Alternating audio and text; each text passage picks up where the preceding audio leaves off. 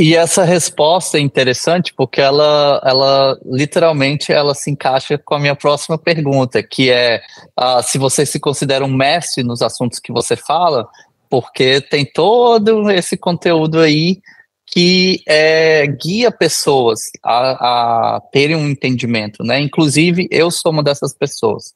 Opa, obrigado. Primeiro de tudo, obrigado. Uhum. Cara, vamos lá. É, deixa eu explicar uma situação. Não, eu não sou mestre da maioria dos assuntos que eu trato. Né? Seria, seria bastante grosseiro da minha parte achar isso, né? Não. Eu, eu sou apenas um criador de conteúdo. Eu, eu pego um tema, como você mesmo sugeriu, o tema do tapping. É, pô, cara, por que você não fala sobre tapping em um vídeo? Você me fez a pergunta lá, o vídeo, inclusive você falando sobre isso no início e tudo. É, e o que eu faço? Eu, eu sou o cara que me dedico a pesquisar. Então eu faço a pesquisa, eu excedo o idioma português, eu procuro isso em outros idiomas. O próprio tapping é muito mais difundido nos Estados Unidos do que aqui. Fui ler material em inglês, etc. Eu crio a minha compreensão e aí eu crio o roteiro de como eu vou qual que é a minha didática para passar? Como é que eu vou ensinar isso para as pessoas? Como é que eu vou mostrar para elas o caminho para que elas entendam o TAP como eu entendi? Né? Então, assim, eu sou um criador de conteúdo. Eu só sou o cara que pega um tema, dou aquela mastigada e, cara, vou, vou explicar para você. E, e, eu tenho muito, muito uh, dedos com certas situações, porque eu não posso, por uma questão ética, fazer, tipo, com que a Luz e Arte tome lugar de professores e mestres que ensinam técnicas profissionalmente.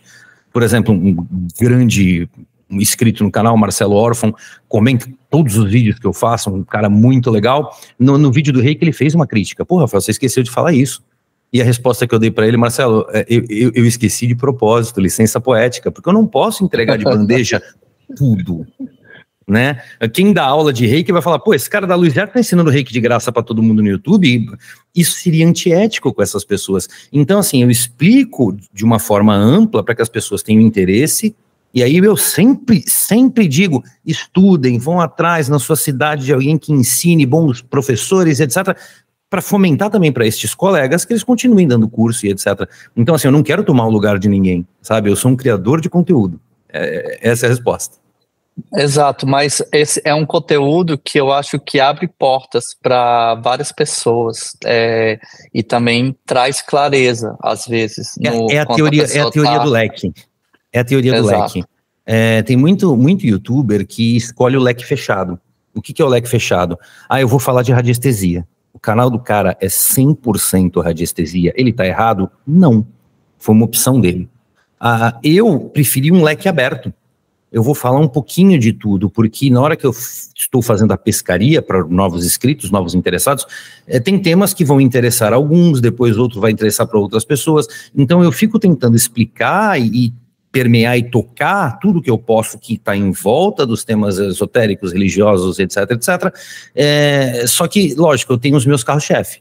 Né, os vídeos mais fortes no meu canal são sobre pêndulo, exercício com pêndulo, uh, anel Atlante, que é curioso, porque eu nem defendo tanto assim o anel Atlante, tanto que eu estou com dois anéis, um minha aliança e outro anel normal, e não estou usando o meu Atlante. Mas é, ficou famoso aquele vídeo, ele é muito acessado, Uh, então, assim, é aquele botão que eu sei que de vez em quando eu tenho que ir lá e apertar de novo. Eu tenho que falar de novo sobre Anel Atlântico, eu tenho que falar mais sobre pêndulo, porque eu sei que o resultado é, é, é, certo. Entendeu? Isso por uma questão de gerenciamento matemático do canal. Mas é que eu gosto de, cara, hoje eu tô afim de falar de mistério, hoje eu tô afim de falar de religião, hoje eu tô. Meu canal eu falo o que eu quero, isso é que é gostoso. Eu ponho pra fora, ah, vamos falar, vamos falar com o Daniel, ó a minha vontade hoje, era conversar contigo, tamo aqui.